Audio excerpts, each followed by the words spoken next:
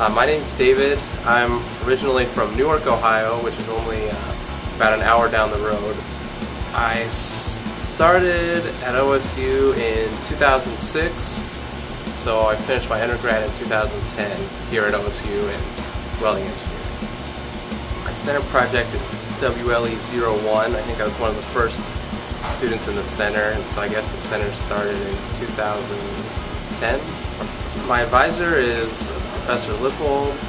Uh, my, my sponsor are technically the Babcock and Wilcox Company, and I also do a lot of work with uh, Special Metals, who is a primary material supplier. The title of my project is uh, uh, most broadly the weldability studies of uh, Inconel alloy 740H for advanced ultra supercritical power plant applications.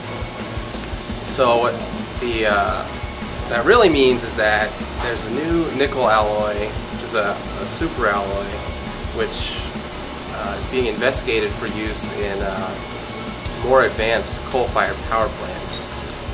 My responsibilities, since I'm a pretty senior student, uh, encompass most things that go on in the lab. So I take care of you know, teaching people how to use equipment or repairing equipment and you know, sometimes make sure we have the right supplies and so on.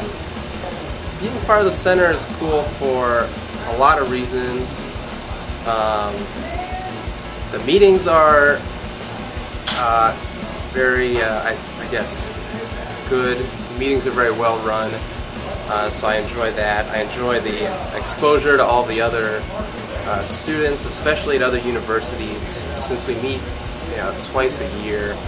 I've uh, really gotten to know students at other universities, which uh, frankly I probably wouldn't have had that opportunity without the center.